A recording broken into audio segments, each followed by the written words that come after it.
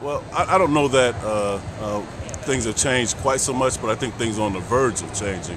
I think there's uh, there's some hope uh, that's been instilled uh, based on some of the programs that have been initiated.